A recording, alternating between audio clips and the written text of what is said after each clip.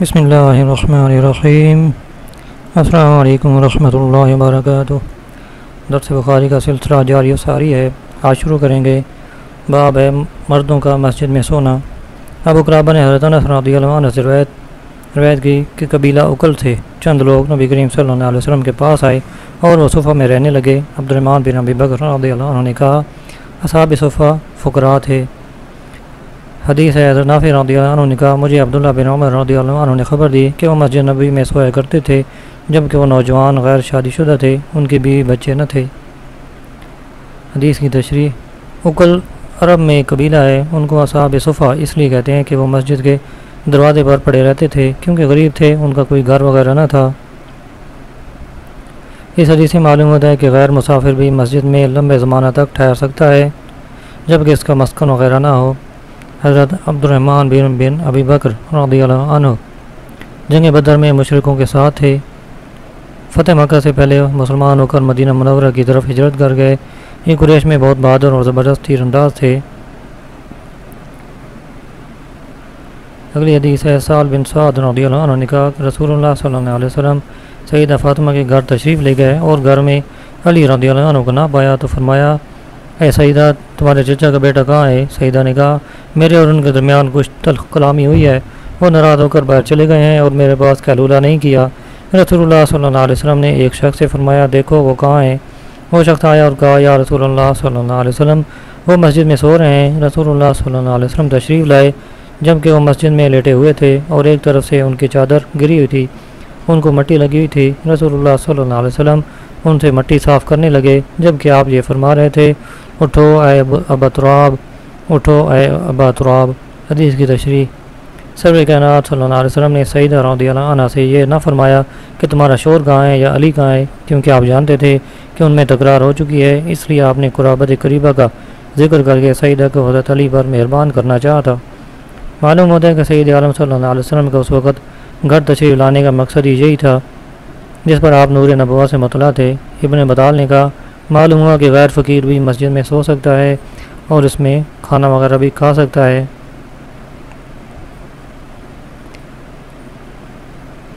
حضرت علی اور فاطمہ کی یہ ناراضگی ایزا کے لیے نہ تھی، لہٰذا علی رضی اللہ عنہ کو یہ نہ کہا جائے گا کہ انہوں نے سیدہ کو ایزا دی۔ جیسا کہ سیدہ ابو بکر صدیق رضی اللہ عنہ اور سیدہ رضی اللہ عنہ کے مابین کسی وقت ناراضگی ایزا کے لیے نہ تھی، لہذا حضرت ابو بکر صدیق اور علی رضی اللہ عنہ اس حدیث کے مصداق نہیں ہوتے ہیں کہ جس نے فاطمہ کو ایزا دی، اس نے مجھے ایزا دی۔ اگلی حدیث ہے، حضرت ابو حریر رضی اللہ عنہ نے کہا، میں نے ستر اصحاب صفحہ دیکھے، ان میں سے بعض وہ تھے جن پر صرف ایک ہی چادر ہوتی تھی، یا تہ بند ہوتا یا کمبل ہوتا، جبکہ انہوں نے وہ اپنی گردنوں سے باندھا ہوتا تھا۔ اس سے بعض آدھی پنڈلی تک پہنچتی اور بعض کے ٹخنوں تک، وہ اسے اپنے ہاتھ سے اکٹھی کر کے رکھتا تاکہ شرم گاہ برہنتا برہنا نہ ہو جائے۔ جن اصحاب صفحہ کو ابو ریرا رضی اللہ عنہ نے دیکھا تھا، یہ ان ستر اصحاب صفحہ کے علاوہ ہیں جن کو نبی کریم صلی اللہ علیہ وسلم نے بے رمعونہ کی جنگ میں بھیجا تھا۔ وہ بھی اصحاب صفحہ تھے، مگر حضرت ابو حریرہ رضی اللہ عنہ کے اسلام لانے سے پہلے وہ شہید ہو گئے تھے۔ یہ حضرات مسجد میں رہا کرتے تھے۔ اگلا باب ہے، جب سفر سے آئے تو نماز پڑھنا۔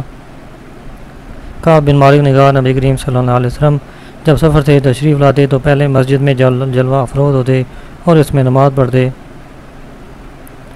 حدیث ہے، حضرت جابر بن عبداللہ رضی اللہ عنہ نے کہا، میں نے نبی کریم، میں نبی کریم صلی اللہ علیہ وسلم کے پاس آیا تو آپ نے فرمایا، دو رکتیں پڑھو، آپ پر میرا قرض تھا، وہ آپ نے ادا کیا اور زیادہ دیا۔ امام بخاری رحمۃ اللہ علیہ نے اس تاریخ کو غزوہ تبوک میں مسند ذکر کیا۔ یہ لمبی حدیث ہے، بعد میں اس کا ذکر ہوگا۔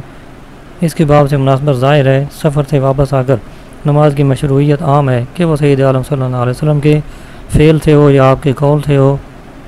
پہلے کو معلق حدیث میں اور دوسرے کو جابر کی حدیث میں ذکر کیا۔ امام نووی نے کہا، یہ نماز سفر سے واپسی پر مقصور مقصور ہے، تحیت المسجد نہیں۔ اس حدیث سے معلوم ہوتا ہے کہ قرض زیادہ ادا کرنا مستحب ہے۔ اگلا باب ہے، جب مسجد میں داخل ہو تو دو رکھتے نفل پڑھے حدیث ہے، ابو قدادہ سلمی رضی اللہ عنہ سے روایت ہے کہ رسول اللہ صلی اللہ علیہ وسلم نے فرمایا، جب تم میں سے کوئی مسجد میں آئے تو بیٹھنے سے پہلے دو رکت نفل پڑھے تشریح۔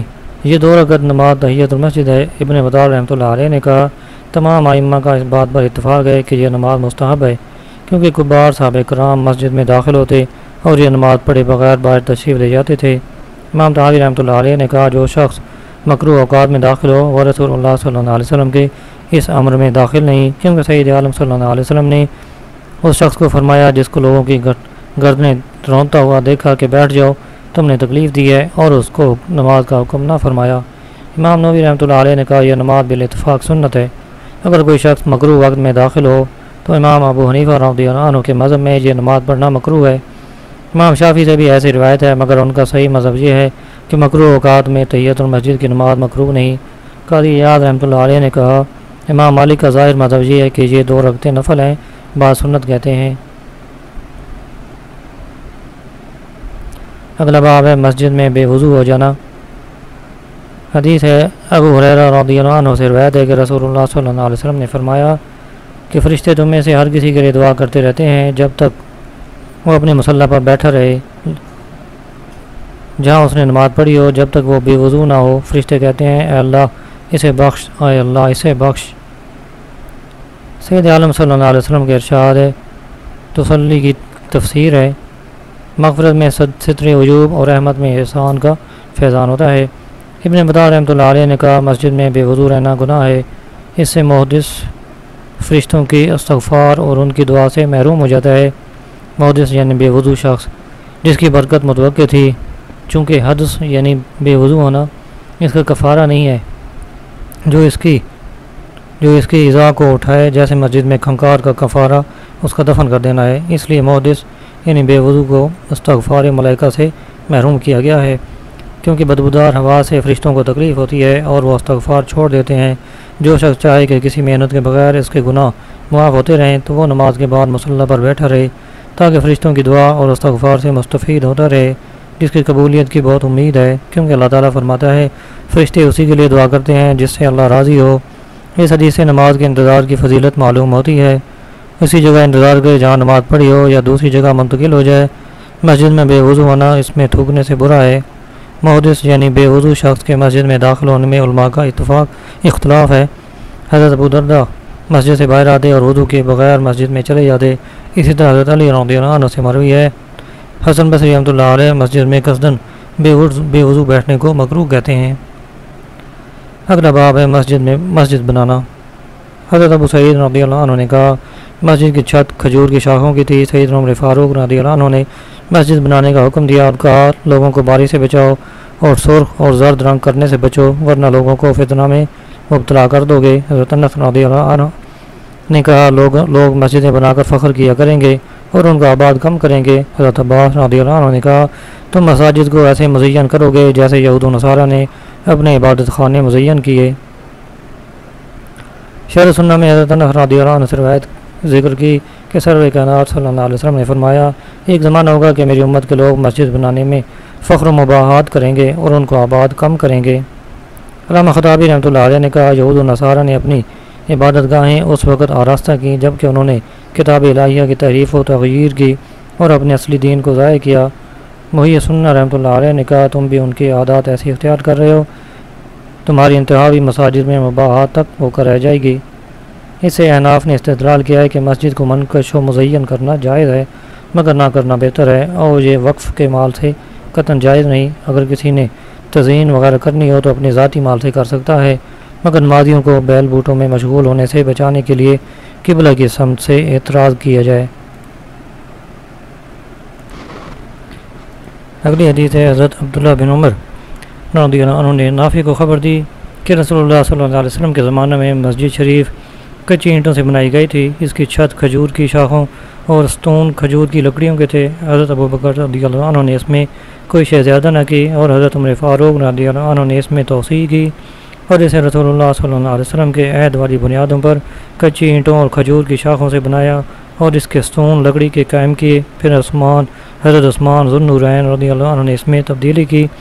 اور اس میں بہت کچھ کیا۔ انہوں نے اس کی دیواریں منکش پتھروں اور چونے سے بنائی اور اس کے ستون منکوش پتھروں سے بنائے اور اس کی چھت ساگوان کی لکڑی سے تیار کی۔ سید عمر فاروق رضی اللہ عنہ کے عہد خلاوت میں کثیر فتوحات ہوئیں اور وہ کثیر اموال خرچ کرنے کی طاقت بھی رکھتے تھے، مگر اس کے باوجود انہوں نے نبی کریم صلی اللہ علیہ وسلم کے زمانۂ نبوت میں مسجد شریف کی کیفیت کو تبدیل نہ کیا۔ پھر سیدنا عثمان ذنورین رضی اللہ عنہ کا عہد خلافت آیا۔ اس وقت مال بھی وافر تھا، مگر انہوں نے صرف اتنا کیا کہ کچی اینٹوں کی جگہ پتھر اور چونا کر دیا اور کھجور کی شاخوں کی جگہ چھت میں ساگوان کی لکڑی کر دی۔ ان دونوں خلفاء نے مسجد شریف کو زیادہ خوبصورت اور مزین اس لیے نہ کیا کہ سرو کائنات صلی اللہ علیہ وسلم اسے مکرو جانتے تھے، اس لیے کہ دنیاوی دنیاوی امور میں اقتصاد اور میان روی میں ان کی ابتدا کی جائے اور اعلیٰ امور میں زود و تقوی اختیار کیا جائے۔ سب سے پہلے ولید بن ملک عبد الملک بن مروان نے صاحب اکرام رضی اللہ عنہ کے زمانے کے اواخر میں مساجد کو مزین کیا اور فتنہ کے خوف سے اہل علم اس کو روک نہ سکے۔ ابن منیر نے کہا، جب لوگوں نے اپنے گھروں کو خوبصورت بنانا شروع کر دیا تو لوگوں کو مساجد کی تزئین پر آمادہ کیا تاکہ خوبصورت مکانوں کے پاس مساجد کی احانت نہ ہو۔ اس لیے امام ابو حنیفہ رضی اللہ عنہ نے کہا کہ جب مساجد کی تعظیم کے لیے ان کو مزین کیا جائے اور اس پر مال، بیت المال سے خرچ نہ کیا جائے تو جائز ہے۔ اعناف کا مطلب یہ ہے کہ ایسا کرنا مکرو ہے، مزین نہ کرنا بہتر ہے۔ اگلا باب ہے مسجد بنانے میں تعاون کرنا عائد کا ترجمہ ہے مشرقوں کو نہیں پہنچتا کہ اللہ کی مسجدیں آباد کریں، خود اپنے کفر کی گواہی دے کر ان کا سب کی درا اکارت ہے اور وہ ہمیشہ آگ میں رہیں گے۔ اللہ کی مسجدیں وہی آباد کرتے ہیں جو اللہ اور قیامت پر ایمان لاتے اور نماز قائم کرتے اور زکوٰۃ دیتے ہیں اور اللہ کے سوا کسی سے نہیں ڈرتے۔ تو قریب ہے کہ یہ لوگ ہدایت والوں میں ہوں۔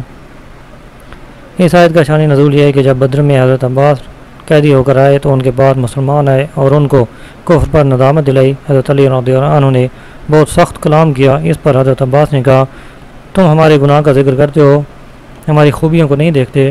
حضرت علی نے کہا، کیا تمہاری بھی خوبیاں ہیں؟ عباس نے کہا ہاں ہم مسجد حرام آباد کرتے ہیں، کعبہ کو لباس پہناتے ہیں حاجیوں کو پانی پلاتے ہیں اور قیدیوں کو آزاد کراتے ہیں۔ اس وقت یہ آیت نازل ہوئی۔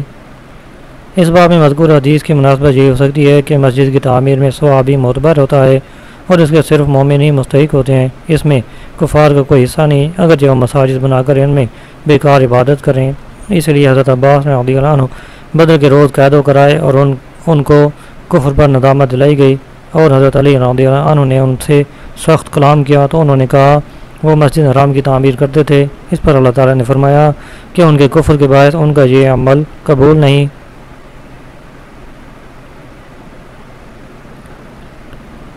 پھر یہ آیت ماغان علی المشرقین نازل ہوئی اور بعد میں مسلمانوں کے بارے میں جو تعمیر مسجد میں ایک دوسرے کی معاملت کرتے ہیں، یہ آیت نازل ہوئی۔ ان نمایاں عمر مساجد اللہ یعنی معتبر عمارت وہی ہے جو مسلمان کریں اور کافروں کی عمارت لاشا ہے محض ہے۔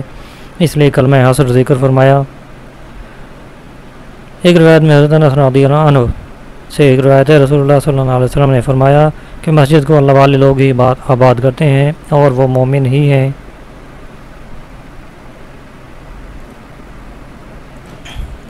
اگلا باب ہے ترخان اور کاریگر سے ممبر اور مسجد بنانے میں مدد لینا۔ حدیث ہے، حضرت سہل بن سعد سعدی رضی اللہ عنہ نے کہا کہ رسول اللہ صلی اللہ علیہ وسلم نے ایک عورت کو پیغام بھیجا کہ اپنے ترخان غلام سے کہو کہ میرے لیے ممبر تیار کرے، میں اس پر خطاب کے وقت بیٹھا کروں۔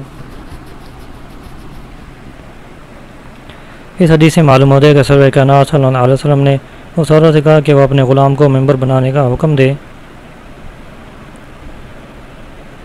ایک حدیث میں حضرت جابر رضی اللہ عنہ نے کہا، اس عورت اس عورت نے کہا، یا رسول اللہ صلی اللہ علیہ وسلم، میں آپ کے لیے ممبر تیار کروں، مگر ان میں تعارض نہیں، کیونکہ اس عورت نے ہی پہلے ممبر بنانے کی پیشکش کی تھی۔ پھر جب اس کے غلام نے ممبر تیار کرنے میں کچھ تاخیر کر دی تو آپ صلی اللہ علیہ وسلم نے اسے تکمیل کے لیے فرمایا کہ وہ کیے ہوئے وعدہ کو پورا کرے۔ اس حدیث سے معلوم ہوا کہ پیشہ ور لوگوں سے استعانت جائز ہے، جس میں مسلمانوں کو فائدہ ہو اور نیک عمل سے اہل فضل کو خوش کرنا چاہیے۔ اگلی حدیث ہے جابر رضی اللہ عنہ سے روایت ہے کہ ایک عورت نے کہا، یا رسول اللہ صلی اللہ علیہ وسلم، کیا میں آپ کے لیے ممبر تیار کروں جس پر خطابت کے وقت آپ بیٹھا کریں؟ کیونکہ میرا غلام ترخان ہے۔ سید عالم صلی اللہ علیہ وسلم نے فرمایا، اگر چاہتی ہو تو تیار کرو۔ پھر اور اس عورت نے ممبر تیار کیا۔ یہ حدیث حضرت سال کی بیان کردہ حدیث کے مخالف نہیں۔ اس حدیث اگرچہ یہ معلوم ہوتا ہے کہ اس عورت نے اپنی طرف سے یہ کہا تھا، لہٰذا اس کی استعانت پر دلالت نہیں، مگر اس نے ممبر بنانے میں غلام سے استعانت کی تھی۔ لہذا یہ باب کے مناسب ہے۔ اس عورت کا نام عائشہ اور غلام کا نام میمون تھا۔ اگلا باب ہے، جس نے مسجد بنائی۔ حدیث عاصم بن عمر رضی اللہ عنہ نے خبر دی کہ انہوں نے عبید اللہ خلانی سے سنا کہ انہوں نے سیدہ عثمان بن عفان رضی اللہ عنہ سے سنا۔ وہ کہہ رہے تھے حالانکہ لوگوں نے ان کے بارے میں کہا تھا جبکہ انہوں نے مسجد نبوی بنائی کیا ہے لوگوں؟ تم نے بہت باتیں کی ہیں اور میں نے نبی کریم صلی اللہ علیہ وسلم کو یہ فرماتے ہوئے سنا ہے کہ جو شخص مسجد بنائے، بکیر نے کہا، مجھے گمان ہے کہ عاصم بن عمر بن قطع نے کہا، اس حال میں کہ اللہ کی رضا اس میں طلب کرتا ہو اللہ تعالیٰ اس کے لیے اس جیسا مکان جنت میں بناتا ہے۔ سر کائنات صلی اللہ علیہ وسلم نے مسجد نبوی کچی اینٹوں سے تعمیر کی، اس کی چھت کھجور کی شاخوں اور کھجور کی لکڑیوں کی تھی۔ حضرت عثمان رضی اللہ عنہ نے اسے پتھروں سے بنایا، اس کے ستون پتھروں سے بنائے اور چھت ساگوان کی لکڑی سے بنائی اور مسجد کو خوبصورت بنایا، جبکہ طول و عرض میں بھی اسے بڑھا دیا۔ تو بعض لوگوں نے اسے اچھا نہ جانا اور حضرت عثمان غنی رضی اللہ عنہ کے بارے میں کچھ باتیں کہیں۔ تو یہ فرمایا، جو کہ حدیث میں مذکور ہے کہ میں نے مسجد کو مزین صرف اللہ تعالیٰ کی رضا کے لیے کیا ہے، معلوم ہوا کہ اس نیت سے مسجد آراستہ کرنا جائز ہے۔ اگلا باب ہے، جب مسجد سے گزرے تو نیزوں کے پھل ہاتھوں سے پکڑ رکھے۔ حضرت جابر بن عبداللہ رضی اللہ عنہ نے کہا، ایک شخص مسجد شریف میں گزرا، جبکہ اس کے پاس تیر تھے۔ رسول اللہ صلی اللہ علیہ وسلم نے فرمایا، ان تیروں کے پھل روک کر رکھو۔ اگلا باب ہے، مسجد میں گزرنا۔ حضرت ابو بردہ رضی اللہ عنہ نے اپنے باپ ابو موسیٰ عشری سے روایت کی کہ نبی کریم صلی اللہ علیہ وسلم نے فرمایا، جو شخص ہماری مساجد یا ہمارے بازاروں میں تیر لے کر گزرے تو ان کے پھالے ہاتھ میں روک رکھے، کسی مسلمان کو زخمی نہ کرے۔ امام بخاری رحمۃ اللہ علیہ نے تاریخ تاریخ اور اس میں ذکر کیا کہ نبی کریم صلی اللہ علیہ وسلم نے فرمایا، تم اپنی مساجد، بچوں، پاگلوں، بے اور شرح خصومات، شور و غوغا، اقامت حدود اور تلواریں لے کر چلنے سے محفوظ رکھو۔ ان کو خوشبودار کرو۔ ان عادی سے معلوم ہوتا ہے کہ مسلمان کا احترام بہت زیادہ ہے، کیونکہ مساجد میں خصوصاً اوقات اصلاحات میں بہت لوگ جمع ہوتے ہیں۔ اگر تیر ہاتھوں میں تھامے بغیر چلے تو مسلمان کو زخم آنے کا خوف ہے۔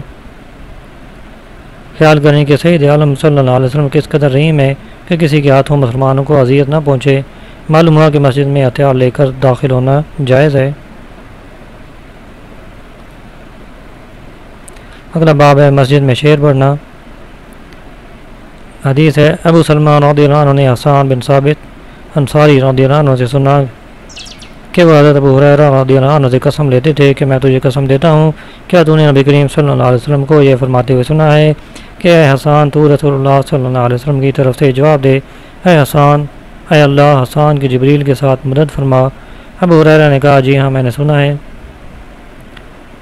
اس حدیث شریف میں اگرچہ مسجد کا ذکر نہیں مگر امام بخاری رحمۃ اللہ علیہ نے یہ حدیث کتاب باد الخلق میں ذکر کیا ہے کہ حضرت عمر فاروق نے عدی عنہ مسجد میں گزرے۔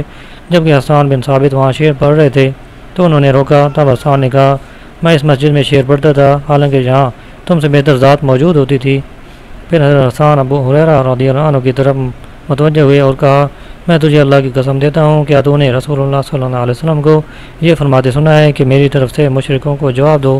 اے اللہ، اس کی روح قدس جبرائیل کے ساتھ مدد فرما، ابو حریر نے کہا جی ہاں میں نے سنا ہے۔ اس سے عنوان کے ساتھ مناسبت واضح ہو گئی، کیونکہ یہ ایک ہی حدیث ہے۔ اگرچہ ابو حریر تنہا کی گواہی سے کوئی شے ثابت نہیں ہو سکتی، مگر یہ شرعی حکم کی روایت ہے۔ اس میں ایک عادل کی گواہی کافی ہے۔ جیسے ابو موسیٰ شرعی کے لیے ابو سعید خدری رضی اللہ عنہ نے حضرت عمر فاروق نے رضی اللہ عنہ کے پاس الاستیزان و ثلاثہ کی شہادت دی تھی، جسے حضرت عمر فاروق رضی اللہ عنہ نے قبول کر لیا تھا۔ اس پر شہادت کا اطلاق مجازی ہے۔ اس حدیث سے معلوم ہوا کہ حمد و ثناء اور منقبت وغیرہ پر مشتمل اشعار مسجد میں پڑھنا جائز ہیں۔ اور سید عالم صلی اللہ علیہ وسلم کی مدہ میں مشرقوں اور بے دینوں کی حجوں مسجد میں جائز ہے۔ اور جن اشعار کا مسجد میں پڑھنا ممنوع ہے، وہ بےحود اشعار ہیں۔ مسجد میں نعتی اشعار پڑھنے جائز ہیں۔ امام نبی رحمۃ اللہ علیہ نے کہا، اہل اسلام کی مدہ اور کفار کی حجو کرنے کے لیے مسجد میں اشعار پڑھنے یہ جائز ہیں۔ اسی طرح مسلمانوں کو کافروں کے ساتھ جنگ پر ابھارنے اور ان کی تحقیر و تزلیل کے لیے مسجد میں اشعار پڑھنے جائز ہیں، لیکن مشرقوں کو سب و شتم میں ابتدا نہیں کرنی چاہیے۔ اس طرح وہ اسلام کو سب و شتم کریں گے، البتہ مجبوری عمل کے وقت جائز ہے۔